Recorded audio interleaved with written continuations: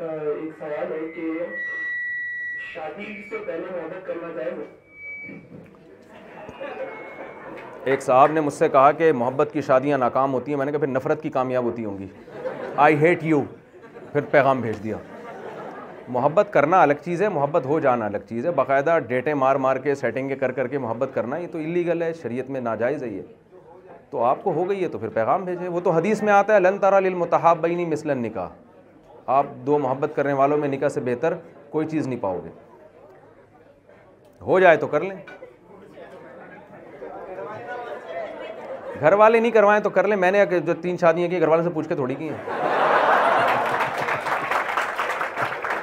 मेरे वालदा भी राज़ी नहीं थी, वालिद भी राज़ी नहीं थे। वालदी तो शहर अल्लाह उनकी मफरत फरमा, इंतकाल कर चुके थे। तो वालदा भी राज़ी नहीं थी। हमने कहा, भाई, ये जब एक चीज़ है तो बस है। तो शादी वादी आजकल लड़कों के लिए क्या प्रॉब्लम है यार? तुम जब खा रहे हो, कमा रहे हो, अपने पाँव पे खड़े हुए हो, अब्बा को बताओ। अब्बा को एक बात कहा करो, अब्बा अगर शादी से रोकें तो आप बोलो, अब्बा, आपके अब्बा अगर आपको शादी से रोकते तो आप मेरे अब्बा बनते? इसका अब्बा के पास कोई जवाब नहीं। आदमी को चाहिए उसके अंदर कॉन्फिडेंस हो। माँ बाप का दिल दुखाना जायज़ नहीं है, लेकिन ये जायज़ हुकूक हैं आपके। तो ये जो है ना, ये तो अब देखो माएँ क्या करती हैं, वो अपनी बेटियों के लिए मारी मारी फिर रही हैं, रिश्ता मिले। बेटों को शादी नहीं करने दे रही।